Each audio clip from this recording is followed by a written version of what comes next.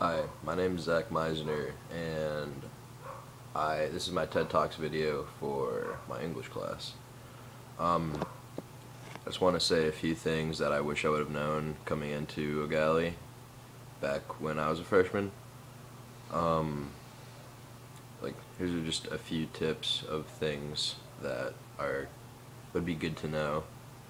Um, First of all, find out where all your classes are before you go there. You've probably been doing that your whole life, but it's still the easiest thing to do to figure out how to get from A to B the fastest.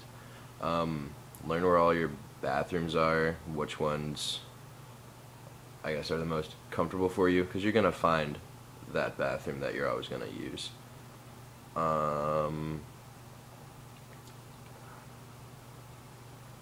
um, with friends, don't don't if you already have a good set of friends, don't let other people come in and ruin that. You're gonna have to, you know, you're gonna meet new people, but you can't let new people change who you are. You can't let one person or one group of people influence the way that you act. You can't like just change you. I mean, they might influence you to change you for the better, but if you're gonna be changed, let um like you got to think long and hard about it. Um, with teachers, try and get on every teacher's good side. Uh, all teachers have a good side. There's not really any bad teachers. There's just students and teachers that won't click. You're gonna have at least one of those. I know I did. Um, even if you have a teacher that you don't click with, bite the bullet. It's only going to be a year in that class, a year out of all the years that you have left. If you can't let one teacher ruin your whole high school experience or let you get a bad grade, you just have to, you know, like bite, suck your teeth and deal with it. Um, what else?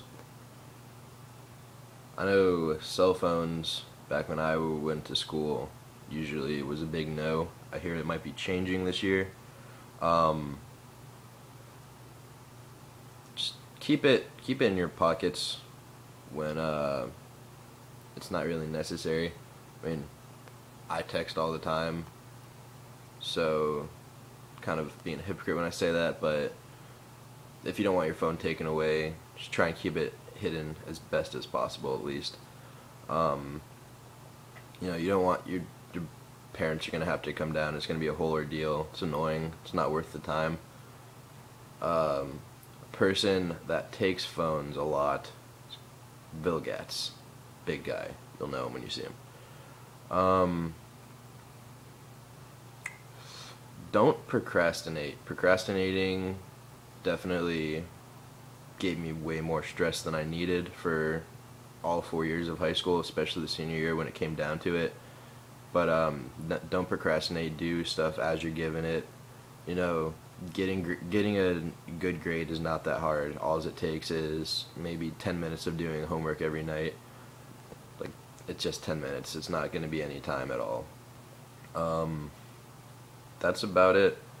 You know, you just gotta kind of roll with it. See how see, like it's it's an it's an experience that you you learn the whole time, and that's about it. It's a very bad ending. Sorry.